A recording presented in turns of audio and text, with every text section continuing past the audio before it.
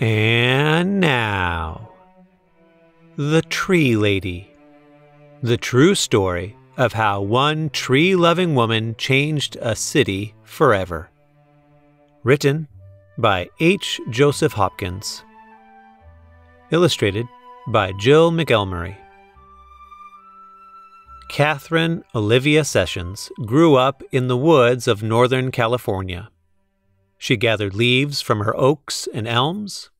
She collected needles from pines and redwoods, and she braided them together with flowers to make necklaces and bracelets. It was the 1860s, and girls from Kate's side of town weren't supposed to get their hands dirty. But Kate did. Kate listened well in school. She learned how to write and count. She remembered the poems and stories she read. But best of all, she liked studying wind and rain, muscles and bones, plants and trees. Especially trees. Most girls were discouraged from studying science, but not Kate. Kate felt the trees were her friends. She loved the way they reached toward the sky and how their branches stretched wide to catch the light. Trees seemed to Kate like giant umbrellas that sheltered her and the animals, birds, and plants that lived in the forest. Not everyone feels at home in the woods, but Kate did. When Kate grew up, she left home to study science at college. She looked at soil and insects through a microscope.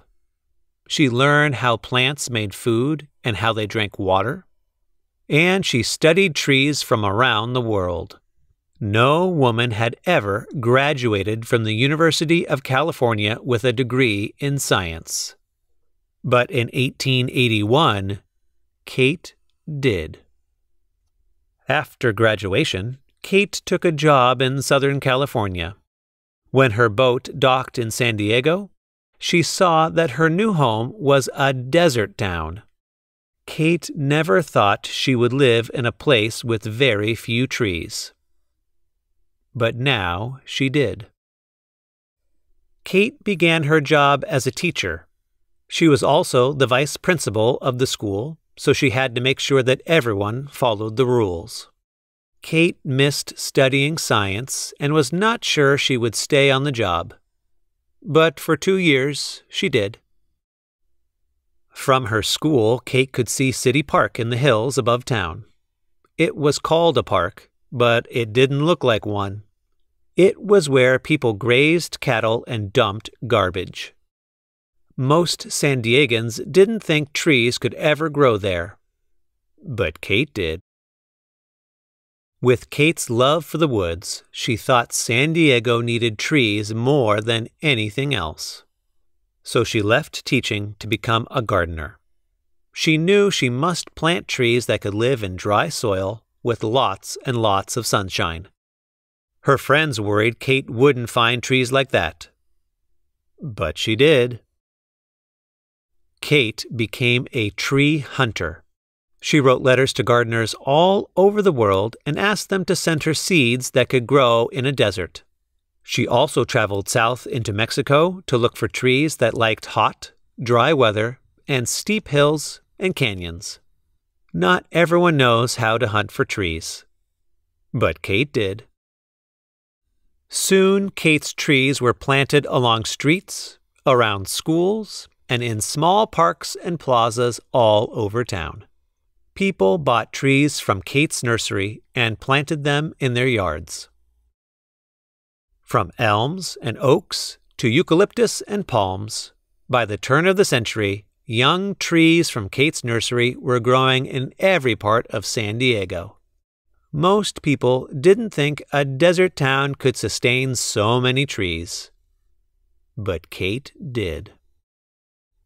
Then, in 1909, the city leaders announced that a great fair, called the Panama California Exposition, was coming to San Diego in 1915. The fair would be held in City Park, which was now called Balboa Park. Kate felt Balboa Park still needed more trees, thousands more to look beautiful and to shade the visitors that came to the fair. That was too many trees for Kate to plant by herself, but she knew lots of people could do it together.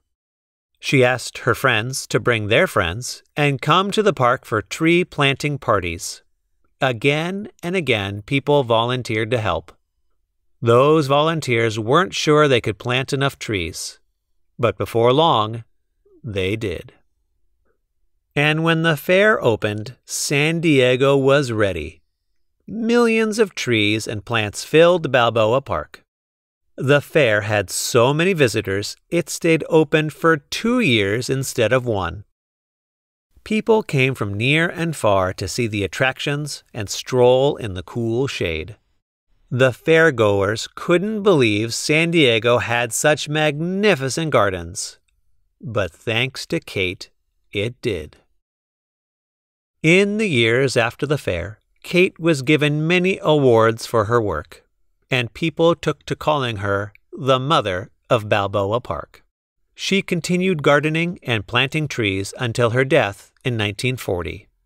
Back then, few could have imagined that San Diego would become the lush, leafy city it is today.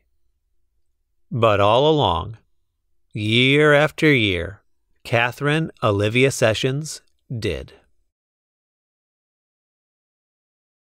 Author's Note when Kate Sessions came to San Diego in 1883, she discovered drought resistant native plants flourishing in the region's Mediterranean climate. She also found non native tropical plants, such as poinsettia and bougainvillea, growing outdoors under the city's sunny skies.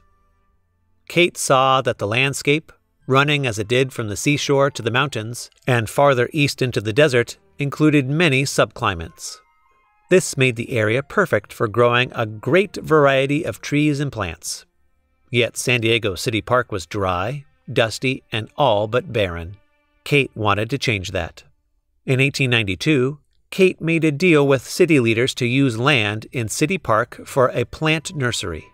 In exchange, she promised to plant 100 trees in the park every year and give the city 300 more trees for planting in other places. People loved Kate's trees, and by the early 1900s, one in four trees growing in San Diego came from her nursery. Though Kate is most celebrated for her work in City Park, which was later renamed Balboa Park, she wasn't just interested in big projects like the Panama California Exposition. Kate wanted everyone to be successful in the garden. For more than 40 years, she wrote newspaper and magazine articles that introduced plants and explained how to care for them. And for decades, she played a leading role in the San Diego Floral Association's monthly meetings, where she was loved for her sparkling, witty, and encouraging answers to gardeners' questions. In 1939, just a year before she died, 82 year old Kate attended a festive luncheon, a fussy doodle, as she called such affairs, where she was the first woman to receive the Meyer Medal, an award given for exemplary service to horticultural science. Kate received many honors during her lifetime, but the one that pleased her most was being called the Mother of Balboa Park. Thanks to Kate, the park has come a long way from its humble beginnings. Today, it remains a haven for the people of San Diego and for the 14 million visitors who come each year to enjoy its enormous variety of trees, shrubs, flowers, and vines.